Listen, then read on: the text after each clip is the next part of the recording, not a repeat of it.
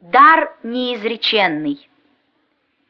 Все само собою в мире появилось, Все к уничтожению, к ничему идет. Бога нет, все это с детства мне привилось. Для чего ж на свете человек живет? Для чего однажды должен он родиться, Возмужать, окрепнуть, силою гореть? Для чего страдает, ищет и стремится? Неужели только чтобы умереть? Почему он знает, что нельзя, что можно, Различать способен худо от добра, Любит то, что честно, гонит то, что ложно, Трудится усердно с раннего утра? Стоит ли бороться? Стоит ли трудиться?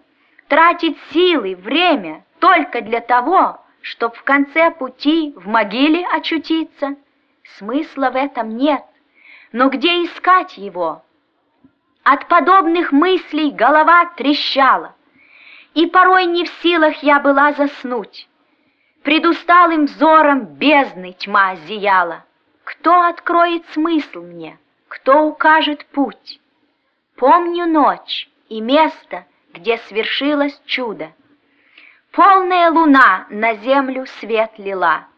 Никогда я ночи этой не забуду.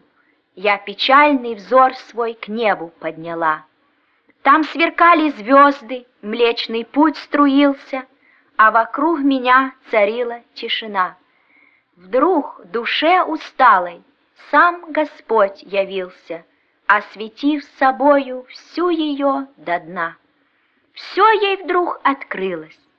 Бог был так реален, и хотя не видим, близок, ощутим, Светлою рукою камень был отвален, И душа, воскреснув, говорила с ним.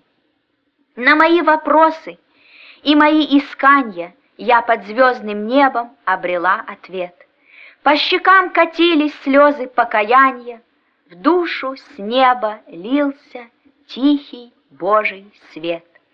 Он наполнил вскоре всю ее собою, Тьму изгнал и жизни вечный смысл открыл. Бремя снял с души пронзенную рукою, Путь мне указал и прошлое простил. Бога нет, безумцы говорят поныне, Но ничто не сможет убедить меня. Он мне сам открылся в жизненной пустыне. Мы вдвоем с ним были, только он и я. Хоть тернист и узок путь передо мною, Сам Господь любовно мне его открыл. Он ведет к блаженству, миру и покою, К вечности под сенью всемогущих крыл.